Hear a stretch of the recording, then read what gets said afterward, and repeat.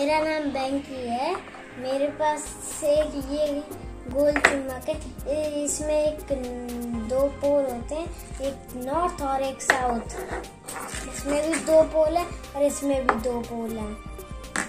मैं आपको साइंस का खेल दिखाने वाला हूँ।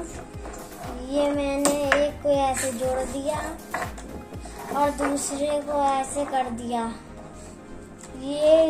नॉर्थ और नॉर्थ हो सकते हैं या साउथ और साउथ हो सकते हैं, तभी ऐसे भागते हैं।